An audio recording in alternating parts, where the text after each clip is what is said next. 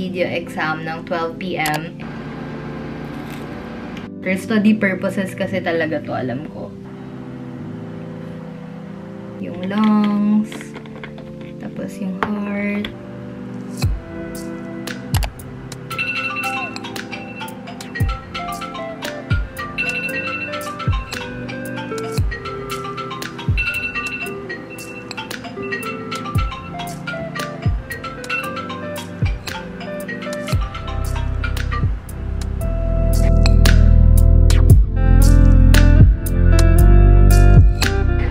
Christine and welcome or welcome back to my channel. So, it's currently 9.45 a.m. already. I just finished answering my leg med exam. The time given to us was 1 hour and 20 minutes. Sagad ko siya eh, na-pass ko yung akin 1 hour and 10 minutes. Tapos, bumaba lang ako to get some bread. Ayan. I just put butter sa pandesal. Tapos yung isa ko pandesal, may Nutella. So, yun. Kakain muna ako kasi yung next exam ko is at 10.30 a.m. And it's now 9.46. So, may time pa ako mag-aral. Mag-study muna ako. So, ayan, dala yung my trusty notebook. So, the exam for pedia is 10.30 to 12.30 a.m. So, medyo matagal siya exam. Hopefully, hindi na masyado mahirap. Kasi, di ba yung huli kong shifting exam ng pedia, super nahirapan ako. I mean, it was really hard. Sana ngayon, hindi masyado. So, yeah, I'm just gonna eat first. And I will see you right after the exam na siguro. Bye!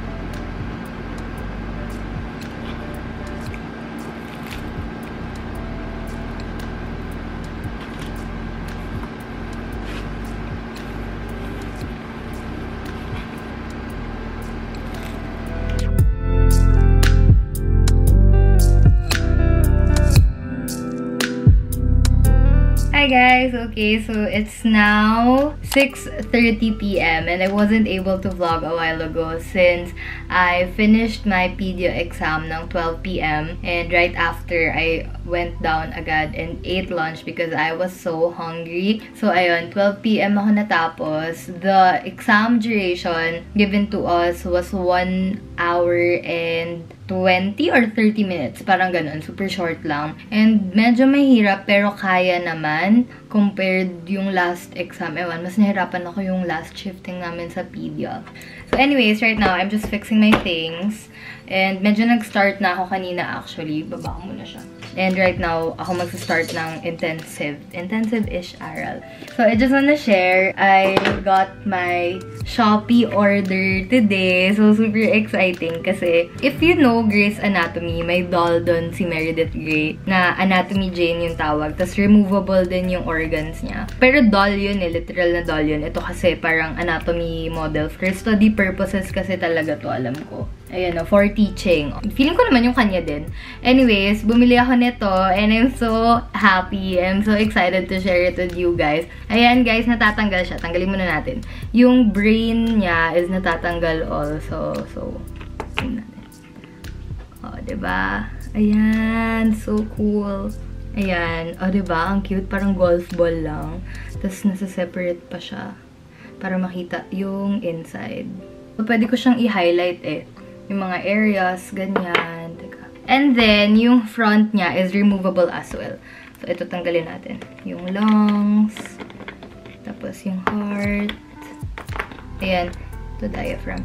Yung lungs kasi niya, natatanggal din siya. Ayan. So, pwede mong makita yung inside. O, diba? Super cool. Fave Shopee purchase. Ayan. Tatanggal din yung sa right lung. Tapos, meron pa, ayan, yung liver, stomach, yung pancreas. Tapos, ito yung small intestine and large intestine. Ayan. O, diba? Ang cool. Tapos, may, pinost ko na to sa TikTok actually and someone asked, paano daw ibabalik yung, yung organs. Madali lang siya actually. Kanina ko pa to tinatanggal and binabalik. So, ito, ito obvious naman na ito yung right lung kasi tatlo yung lobe niya. Diba? Yung right lung. May tatlong lobe. So, ibabalik mo lang siya like that. And then, ito, dito.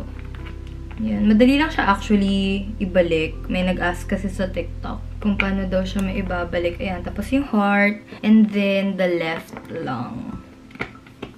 Ayan. And then, yung diaphragm. Na-realize ko, I can use this also kasi yung topic namin right now is GI. And di ba madalas sa GI, yung mga chief complaint talaga is abdominal pain, ganyan. And pwede kong i-label kung saang area ng abdomen yung specific disease, ganyan. Kasi for example, iba-iba kasing part ng abdomen, ma-elicit yung pain, depende sa disease. Kaya, very helpful din. Ayan. Tapos ito, balik na natin yung stomach. Ayan. O, diba? Sobrang dali lang niya ibalik.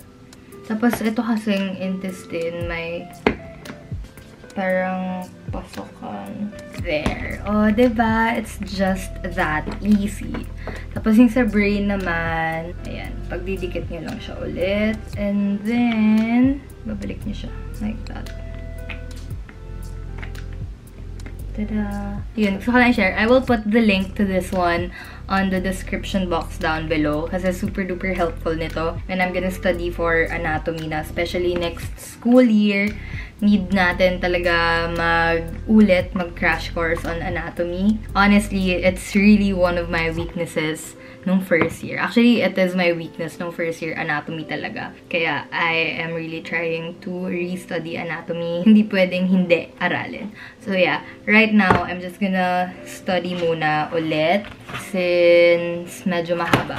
Nakita ko sa inyo yung topics namin for tomorrow. Guys, tingnan nyo. Yan guys, nakikita nyo ba? Ito, until that one, yan yung topics namin for the exam tomorrow. At diba, sobrang dami. So, tingnan ko, baka later na ulit ako mag-vlog since I really need to concentrate on this one since medyo madaming aaralin. So yeah, I don't know if I'm gonna see you na tomorrow or later since the whole week naman yung pag-vlog ko. So, so yeah, I will see you guys maybe later or tomorrow. So, Hi guys, good morning. So it's currently 8.44 a.m. and I just finished my surgery exam. Surgery exam started ng 8 a.m. So I wasn't able to vlog na kahapon since ang daming nangyari kahapon. If you saw my IG stories, nawalan ako ng internet while doing the exam. Pero thankfully, nakatapos naman ako ng exam. But grabe yung panic ko kasi mga 15 minutes ako nagahanap ng pocket wifi kasi nga walang tao sa house. So wala akong mahinga ng help, ng load, ganyan. Wala rin akong load. So yun, alala na nangyari kahapon.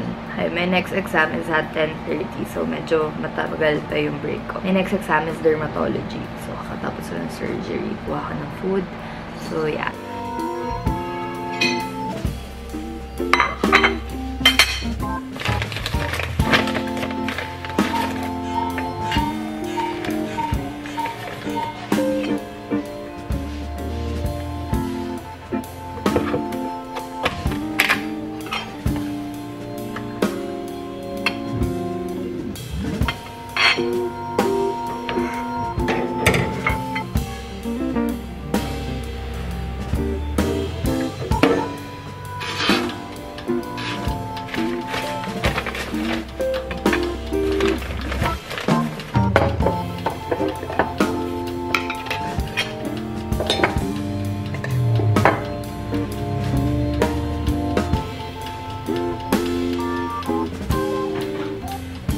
Tell me how you do a pulmonary embolectomy. I'd insert a steerable catheter into the femoral vein and position the fluoroscope adjacent to the embolus.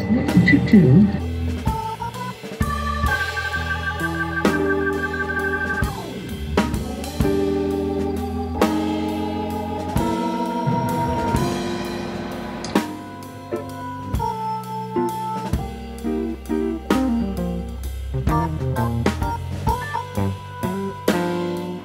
Guys! Okay, so it's currently already 6.13 p.m. And I know, ano ba ang last kong vlog before this? I think I was about to take my derma exam. So after the derma exam, natulog muna ako because the derma exam was really draining. Ang hirap ng derma. I actually ate first and then I slept. Pagkagising ko actually, nag-take lang ako ng picture for a brand. So hence, the kalat. Ayan.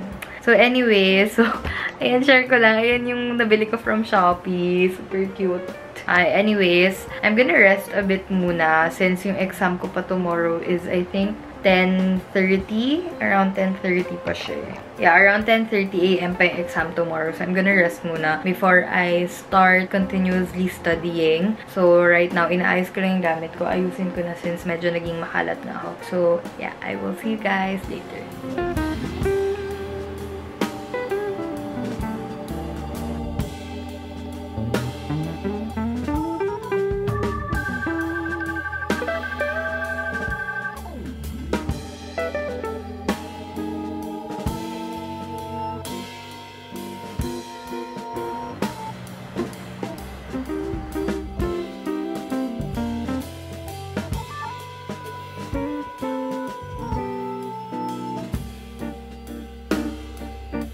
Hi, good morning guys. So today is Thursday, March 18. So today is the last day of our shifting exams. It's currently 9.42 a.m. My exam will start at 10.30 a.m. So right now, I'm just reviewing my trances. Mga 10.20, siguro I'm gonna keep my things na. So yeah, I will see you guys after. So this is the last day.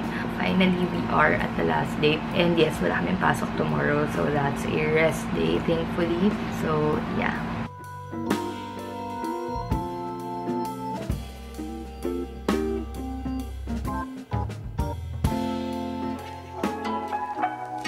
She's a Mona Lisa. Everyone's lining up to see her. There must be something